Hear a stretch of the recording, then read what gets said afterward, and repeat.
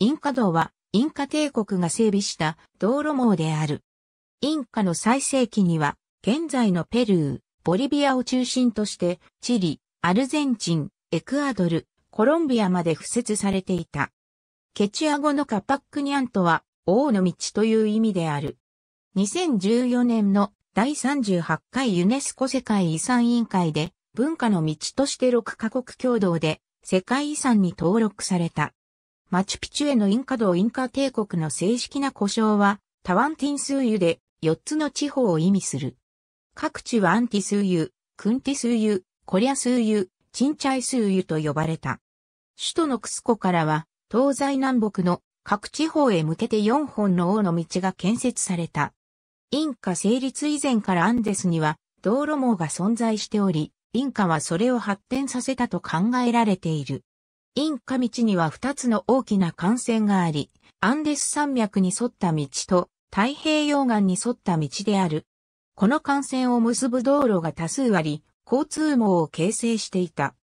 行政、軍事、宗教などの目的のために人間の移動や物資の輸送が行われ、インカの支配を支えた。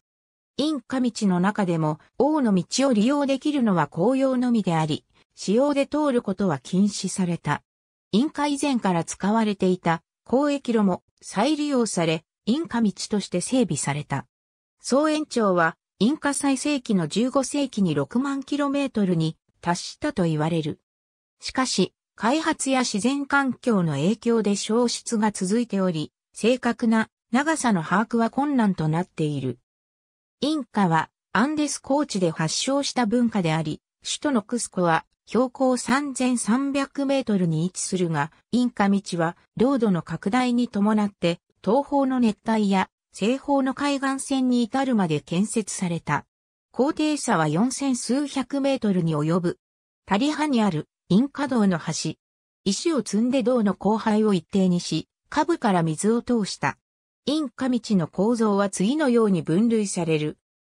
日干しレンガ、または石で路側帯が作られたモノ路面を高くしたモノ両側面に水路溝があるモノ路側帯をさらに追加したもの水路溝と路側帯の間に工作地があるモノ海岸沿いの砂漠の道は湿地帯の道は高地の道は洪水対策としてに、平石で舗装した。横領や重要な地域では両脇に、アンデネスと呼ばれるテラス式の建築物があった。道路の幅は地形と重要度によって変わり、2メートルから10メートルが多い。主要な幹線道には幅16メートルの地域もある。アプリマック側に架けられたインカ式の吊り橋。ケシュワチャカと呼ばれる。後輩の大きな坂では石を積んで階段を作り、小川を渡る場合は、川幅が短ければ、石の板をかけ、川幅が増した場所では吊り橋を建設した。吊り橋は太い綱、枝、細縄で作られて、石像の兄弟に固定された。吊り橋は2年から3年ごとに改築されており、クスコの南を流れるアプリマック側のケシュワチャカが有名である。吊り橋をはじめとする建築技術は周辺民族がインカの優位を受け入れるきっかけにもなった。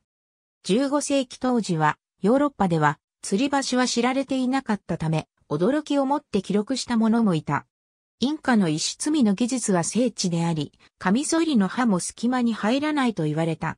スペイン人は、インカを征服した後に新たに建築物を建てたが、石積みの土台の多くは残してその上に建設された。インカの道路網。緑が山脈沿いの幹線、本が海岸沿いの幹線。スペインの植民地時代に収集された口頭情報に基づく文献では、インカは周囲の民族に攻撃を受け、戦争によって征服地を拡大したと書かれている。考古学調査の事実は、これとは異なり、インカはクスコを中心に政治、経済面で地域統合を進めた後、増加した人口で軍事力を蓄えて周囲を侵略したとされている。インカは軍事侵攻に伴って道路や橋を建設した。軍事行動は一人の王の生涯に数度行われていたが、第8代のパチャクティの息子の時代に遠征の回数が増加し、遠征のたびに道路が延長された。インカの王が死亡すると、その財産や土地は遺族や意外に委ねられた。新しい王は前王の財産を相続できず、自らの財産を作り出す必要があった。新しい王は前王よりも大きな道路を建設しようとしたため、前王の道は使われなくなることがあった。王の道と巡察初期の道路は主に平坦に使われ、道沿いに飛脚の茶隙は市と担布が建設された。こうした施設には伝令を伝える飛脚や兵士の食料や物資が貯蔵されていた。インカは新たな領地にインカ道や行政のための建物を建築した。支配が確立されると移住、物資の運搬、役人の派遣などに使われた。インカ道の付近に人口が集中する現象も起きた。インカ以前に生活用の道だけがあった地域は、インカ支配下になると、アンデス中央部と最短距離、最短時間で結ぶための道が新たに建設された。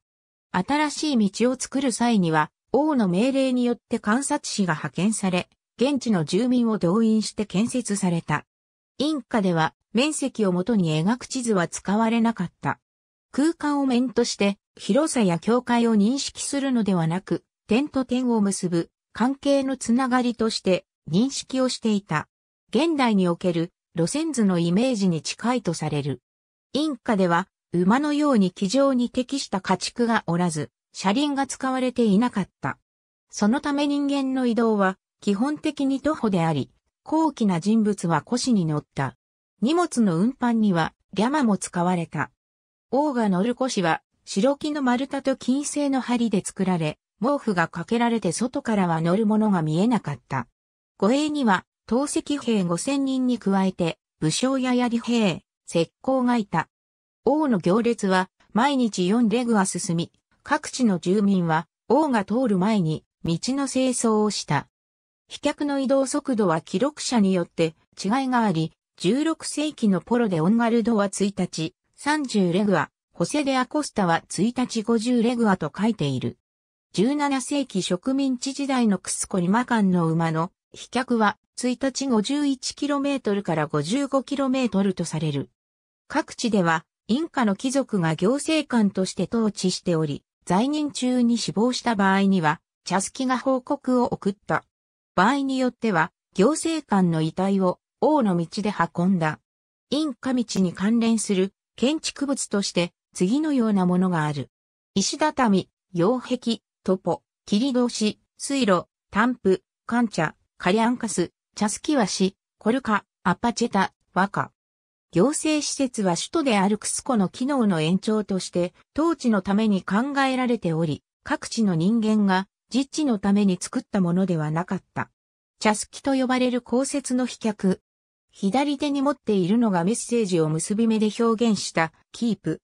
飛脚小屋は半レグアごとに建てられ、近隣の村から小屋一つにつき2名ずつ配置された。伝令の必要が生じると、飛脚となった者は次の小屋まで走って伝え、それを受け取った者はさらに次の小屋へ飛脚として走る。走り終えた者は小屋で休憩をして、備蓄から飲食をした。インカは無文字社会であるため、伝令の内容は口頭であり、複雑な情報はキープと呼ばれる縄で記録して運んだ。こうしてインカは長距離の通信を可能とし、馬を使う伝令が3日かかる距離を1日で通ったとも言われた。1日で行ける距離ごとに宿泊できるタンプが設置され、武器、糧食、衣類などの必需品が貯蔵されており、王族や兵士も利用した。コルカはタンプよりも大きく、兵士のための必要物資や工芸品、写真品が貯蔵されていた。倉庫の糧食については、太陽、及びインカの畑から採れた作物という記述があり、トウモロコシチ茶、ジャガイモキヌア干し肉を中心としていたと推測される。通行人を監視する担布もあり、使用で王の道を使う者がいないか確認していた。インカ道沿いには行政施設が再建築され、地元の住民を集めて行政官の越見にも使われた。現存する有名な建築物としてワヌコパンパが知られている。行政施設の規模は、インカ以前に大規模な社会があった地域では目立たず、インカ以前の社会が明らかでない地域では大規模化する傾向にあった。神殿や女性の儀礼専門家のための施設などの宗教的な施設もインカ道の近くに建築された。ウルコスのビラコチャ神殿やコリアス湯の楽地神殿のように重要な神殿や神託所は道沿いにあった。和歌は小道によってつながっていた。宗教儀式で犠牲となる動物や人間はまずクスコに運ばれて、インカ王が聖火してから儀式が行われる各地へ分配された。北方の聖地パチャカマック遺跡のインカ道。インカ以前から大神殿があった。インカ道。両側にアンデネスと呼ばれるテラス状の農地がある。スペインのコンキスタドールによってインカは征服され、インカ道に沿って蓄えられた物資は征服者たちが進軍する際に利用された。スペイン人は平坦や旅行にインカ道を使い、その機能に注目して記録している。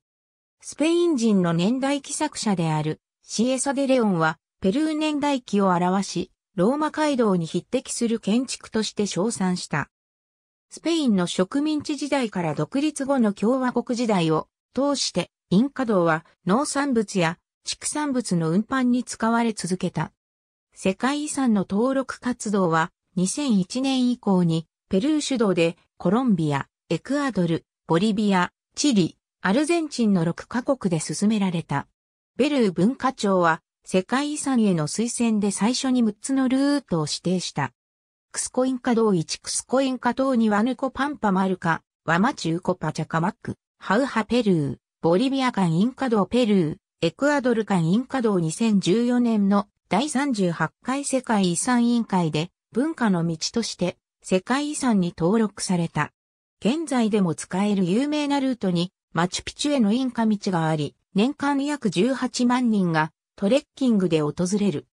クスコから鉄道でキロメートル82まで移動し、キロメートル82からマチュピチュまで山岳ルートのインカ道が保存されている。徒歩で3泊4日の距離である。道路開発や土砂災害、集中豪雨などの自然災害によって、インカ道の消失が続いており、80%は道路工事が原因とされる。上記の歴史説でも触れたように、この試算は南米6カ国によって推薦された。2010年7月20日にアルゼンチンとボリビアが世界遺産の暫定リストに記載したのを皮切りに、同月26日にコロンビア、同年8月13日にペルー、2011年3月13日にエクアドル、同年4月12日にチリがそれぞれ自国の暫定リストに記載した。ユネスコの世界遺産センターに正式な推薦書が提出されたのは2013年2月1日のことであり、その時点では149区間291件の構成資産を含んでいた。しかし、世界遺産委員会の諮問機関である国際記念物遺跡会議は291件、すべてには価値を見出しがたいとして、紹介を行い、これを受けて、アイコモスと関係国が会合を重ねた結果、推薦範囲が見直され、構成資産は137区間273件となった。アイコモスは、この137区間については、全件について、顕著な普遍的価値を認め、登録を勧告した。2014年の第38回世界遺産委員会では、委員国から賛成意見が相次ぎ、受け継がれたインカの伝統といった無形の価値に対しても、肯定的な国が多かった。その結果、口述のように登録基準の適用に修正が施され、問題なく登録が認められた。内訳は、アルゼンチンが13区間、ボリビアが3区間、チリが34区間、コロンビアが9区間、エクアドルが24区間、ペルーが54区間となっている。世界遺産としての正式登録名は、英語、クハパックナン、アンデアンロードシステム、フランス語、クハパックナン、デスデルーツアンジンである。その日本語訳は資料によって以下のような違いがある。この世界遺産は世界遺産登録基準のうち以下の条件を満たし登録された。アイコモスは、のみでの登録を勧告しており、は、潜在的に適用の可能性があるとしつつも、証明が不十分とみなしていた。しかし、世界遺産委員会の審議では、委員国のうちポルトガルがの追加を提案し、トルコ、カザフスタン、フィンランド、マレーシア、ドイツが相次いで賛成を表明し、最終的に追加が認められた。文明の歴史と発展をテーマとしたシミュレーションゲーム、シビライゼーションシリーズのシビライゼーション6では、拡張パック、嵐の訪れで、プレイヤーが選択できる文明にインカがある。インカのリーダーはパチャクティであり、パチャクティの固有能力として、カパックニャンの建設がある。ありがとうございます。